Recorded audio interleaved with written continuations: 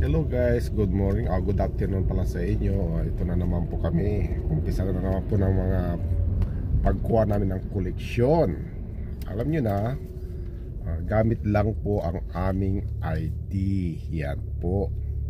Tapos, pupunta kami ng ah, Saan ba yun? Ah, McDonald's. Ah, Subukan nating isa-isahin Kung talagang ah, ito ay ah, mag-work uh, kukuha tayo ng free food. Okay?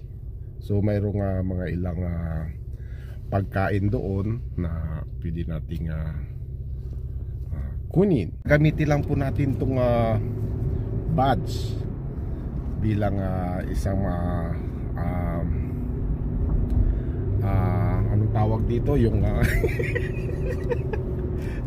um, nakalimutan ko kasi. Kakilanlan. pagkakakilanlan. Oh yun. Ang lalim ng Tagalog. Pagkakakilanlan. Proven na ikaw ay isang frontliners kuno. Okay? So subukan natin tong uh, McDonald's. Kasi may may balita na uh, magbibigay daw sila ng free food sa mga frontliners. Okay. may sandwich. ah, cheeseburger. Parehas din yung sa sandwich sa kamot tapos kape. Hot coffee pala. O yan. Saka small french fries. Yan. so ayan guys. Nandito na tayo sa McDonald's na unang uh, uh, kagukunan natin. Tingnan natin kung uh, dyan natin masusubukan kung talagang uh, makakakuha tayo ng uh, free food. So mayroon siyang ID at mayroon din akong ID so tingnan natin ha? Panoorin natin. Yung nuggets. sige nuggets tsaka fish fillet.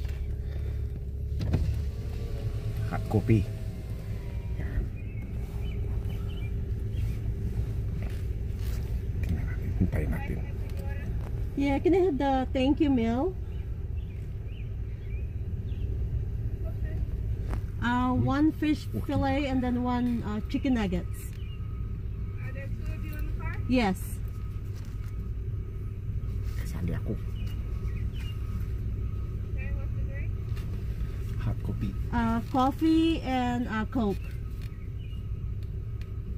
many creamers are in the coffee? For uh, three and three. Okay? That's it. Uy, tinatanong pa kung meron pa ba Thank you. ayos. Tingnan natin kung Share your ID. papakita natin itong ID yan. Yan ang drive thru mga kaibigan. So piniprepare na po yung ah, order natin.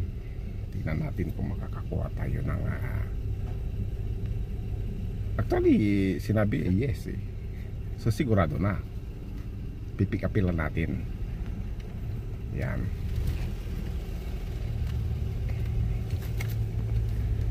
yan Hello. Do you have the two thank you meals? Yes. Okay, you're good. Thank you. Ooh, good daw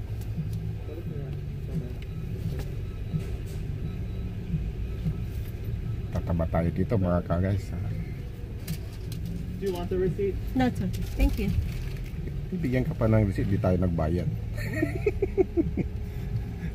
i-free nga eh di ba okay. so hintayin natin lang ng konti dahil mayroon pang uh, nasaunahan natin. At uh, Uy, yan. Susunod na tayo. Yan. Tingnan natin ha. Coffee. Coffee. Ayan. Water. So, this one. So, ah, meron nga palang uh, french fries na ibinigay Tingnan natin ah. Oh. Fish oh, totoo nga oh, yan oh, six nuggets. Yan. Ah, kape. So totoo. So proven. So yun, mga kaibigan at ah, tayo may madadaanan na naman tayong McDonald dito. Subukan natin kumuha ulit. Kung tayo pagbibigyan. At ah, ting naubos ko na yung unang ah, hingi ko. Tataba na tayo dito eh. malapit na tayo dyan sa isang kwan. Subukan natin. Diyan sa may ah, ah, River Road. Sa drive-thru tayo ulit. Kasi wala kasing dining ngayon. So lahat pupunta ka sa drive-thru. Sabi mo doon katulad ng ginawa natin kanina. At ah, okay naman.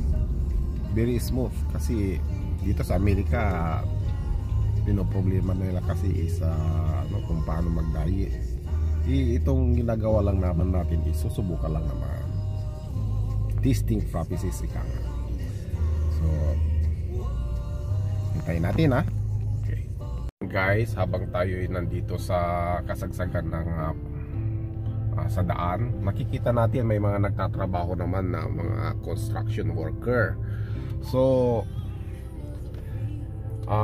minabuti nila na magtrabaho habang may lockdown at least hindi masyadong ah, traffic at ah, hindi sila masyadong ah, naabala yung mga trabaho nila. Kaya sana naman is ah, sa ating ah, mga sa bayan natin is ganito rin sana na na habang lockdown inaapura yung mga trabaho sa kalsada. At least pagkatapos nito maganda yung daloy ng traffic. Di po ba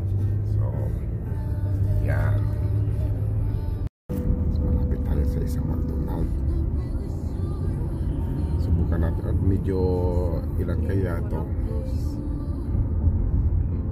Medyo iikot yata tayo kasi may bagong simento doon tayo sa kabila.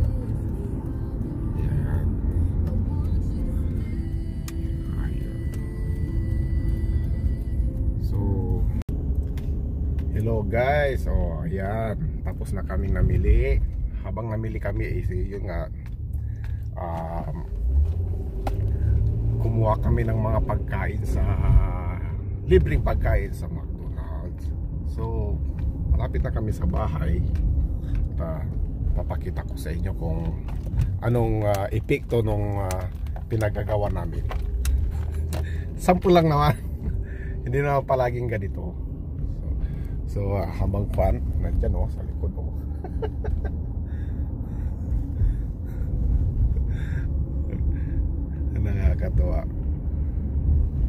paminsan-minsan lang naman pero huwag na maabusuhin so nasubukan natin talagang ah, binibigay naman na talaga nila yung mga pagkain